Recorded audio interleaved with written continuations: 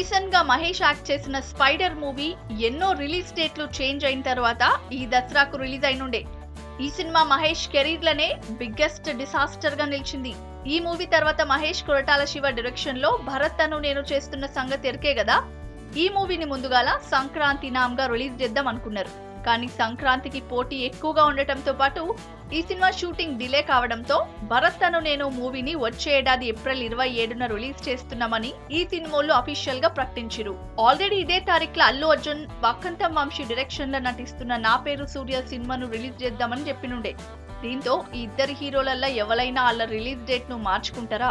లేకుంటే జిద్దు మీద ఒకే దినం మహేష్ బన్నీలు వాళ్ళ సినిమాల్ని పోటా పోటీగా రిలీజ్ చేస్తారా అన్న చూడాలి. ఇంకోవైపు ఈ దీపావళికి రిలీజ్ కావాల్సిన శంకర్ రజనీకాంత్ అక్షయ్ కుమార్ల టూ పాయింట్ జీరో సినిమాను ముందుగాల జనవరి ఇరవై ఐదు తారీఖు పోస్ట్పోన్ చేసినుండే.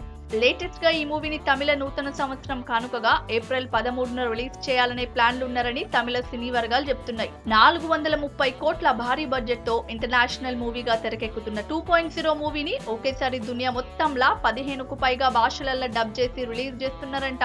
కలెక్షన్స్ పరంగా టూ పాయింట్ జీరో మూవీ భారతీయ చిత్ర పరిశ్రమల సరికొత్త రికార్డ్ క్రియేట్ చేయుడు పక్కా అని చెప్తున్నారు ఈ మూవీ రిలీజ్ అయిన రెండు వారాల గ్యాప్ లనే మహేష్ బన్నీలు బాక్స్ ఆఫీస్ ఫైట్కు రెడీ అవుతున్నారు two point zero super hit అయితే మహేష్ బన్నీలు వాళ్ళు ముందుగాల చెప్పిన డేట్ కే టాకీస్లకు వస్తారా లేదా అన్న చూడాలి.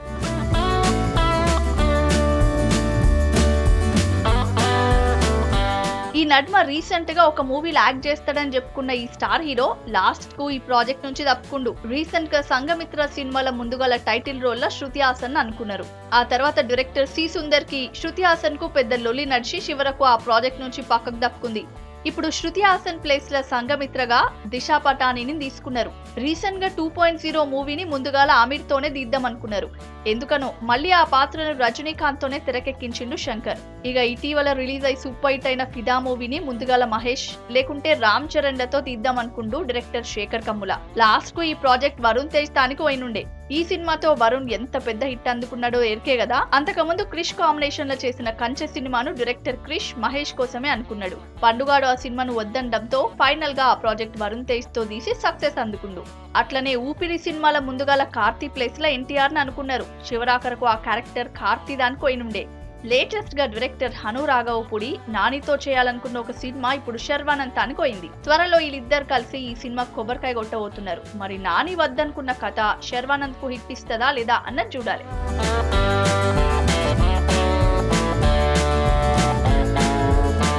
తెలుగుల సోషియో ఫ్యాంటసీ కథాంశాలతో తెరకెక్కిన చాలా సినిమాలు ఎక్కువ మట్టుకు సూపర్ హిట్ అయినాయి. లేటెస్ట్గా తెలుగులా నాగాన్వేష్ హెబ్బా పటేల్ హీరో హీరోయిన్లుగా తెరకెక్కిన మూవీ ఏంజల్.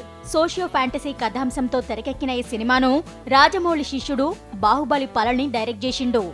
ఈ సినిమాను సరస్వతి ఫిలిం బ్యానర్లా హీరో నాగాన్వేష్ నాయన సింధూరపువ్వు కృష్ణారెడ్డి జరంత ఎక్కువ పైసలు పెట్టే ఈ మూవీని తీసిండు. జగదేక వీరుడు అతిలోక సుందరి సినిమాల శ్రీదేవి చేసిన దేవకన్య పాత్ర లెక్కనే ఏంజల్ సినిమాల హెబ్బా పటేల్ క్యారెక్టర్ ఉంటదని చెప్తున్నారు. ప్రముఖ హాలీవుడ్ సినిమాలకు సీజీ వర్క్ చేసినోళ్ళే ఈ సినిమాకు పనిచేసిండ్రు. ఏంజల్ మూవీలా నలభై ఐదు నిమిషాలకు పైగా గ్రాఫిక్ సీన్స్ ఉంటాయట. ఈ సీన్స్ ఈ మూవీకే హైలైట్ అని చెప్తున్నారు. రెండు గంటల ఎనిమిది నిమిషాలున్న ఈ సినిమాకు సెన్సారోళ్ళు యూఏ సర్టిఫికెట్ ఇచ్చిండ్రు. ఏంజల్ సినిమాల హీరోగా చేసిన నాగన్వేష్ ముచ్చటకొస్తే చిన్నప్పుడు ఇంట్లో ఇల్లాలు వంటింట్లో ప్రియురాలు సినిమాల చిన్న పొరం లెక్క నటించిండు. ఆ తర్వాత వినవయ్య రామయ్య సినిమాతో హీరో అయిండు మరిప్పుడు ఏంజల్ మూవీతో హీరోగా నాగ అన్వేష్ సక్సెస్ అవుతాడా లేదా అన్నది తెలవాలంటే నవంబర్ మూడో తారీఖు వరకు వెయిట్ చేయాల్సిందే.